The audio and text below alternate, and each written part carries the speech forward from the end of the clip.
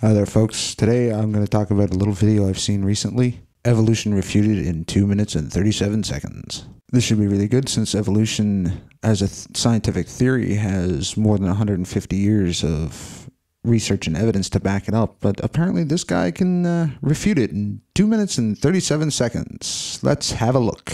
You hear this one a lot. Science has proven evolution, therefore evolution is true. Wow, four seconds in and he already made one big mistake. Science doesn't seek to prove things, it's a disproval process, not a proving one. This is a basic misunderstanding of the scientific method, and not to mention a little ridiculous. Let's see what else he has to say. Since evolution is true and Christians don't believe it, then Christians don't believe science and they aren't rational people. My, that was a screaming leap into illogic. Whilst I personally believe that any belief in the supernatural is, in general, in, irrational in nature, it doesn't necessarily mean that the people who believe that are irrational in nature. For example, no one would call uh, Dr. Robert Bakker, one of the foremost paleontologists in the history of the field, an irrational man, but not only is he a great paleontologist, he's also a Pentecost minister. This shows that belief in Christianity and belief in evolution are not mutually exclusive states. And back to the moron.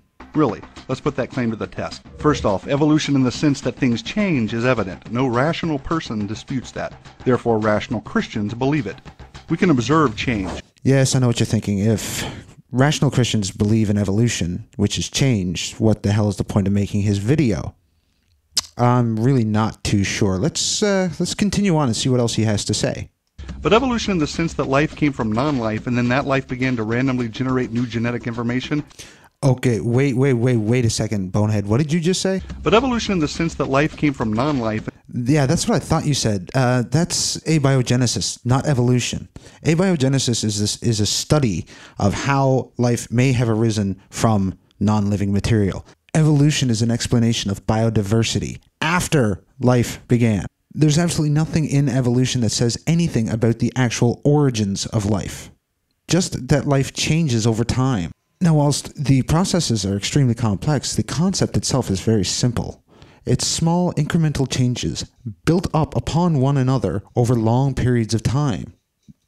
I don't understand why so many people have such a difficulty understanding that very basic concept and back to numbnuts. And over time, it eventually produced humans is something entirely different, and something that quite honestly doesn't hold up against science. In other words, evolution in the sense of molecules to man is not scientifically plausible and therefore should not be viewed as scientific fact. Of course, it shouldn't be viewed as a scientific fact because it's not a scientific fact, you boob the theory of evolution doesn't say anything remotely like that. Quite honestly, it is in great opposition to science, that is, observational science, the kind of science we can test and repeat and use our five senses to understand. Do you know of another kind of science that doesn't use empirical studies and tested hypotheses? Oh, wait a minute. Yeah, creation science. Oops, sorry. No, go on, go on, go on. I, find this absolutely fascinating. Science demonstrates that over time, living organisms lose genetic information. They don't gain it. Really? Uh, and what are your sources for that tidbit of information? Oh, you don't have any. Oh, Okay. That same science uh, demonstrates that life doesn't arise from non-life. Hey, Follow along if you would. Fact one, there is no known observable process by which new genetic information can be added to an organism's genetic code. None. In experiments with bacteria, populations arising from a single bacterium have shown beneficial and non-beneficial mutations. Thus, information added to their genetic code, you dick. And for those interested, the source for that little tidbit of information is in the description of this video. I can't wait for the next bit. That pretty much refutes evolution right away because there's no way to go from a fish to an amphibian without adding new information, right? If living organisms cannot produce new genetic information, how can anything gradually change into something of higher intelligence or form or complexity? That is, how can anything evolve from an amoeba to a man without adding new genetic information? Okay, can't get from an amoeba to a man without adding genetic information. As humans, we have 46 diploid chromosomes. Amoeba Proteus, 250. Yeah, you'd need to add a lot of information to get from a to get from an amoeba to a human. Really, add it. You have to add it. 250. The answer, of course, is that it can't, plain and simple. Now, some have speculated and they have imagined all kinds of things, and they brought in artists to produce creative renderings based on guesses, and they have been successful in telling a very convincing story that humans evolved from ape like creatures. But those are just drawings, people, they're just stories.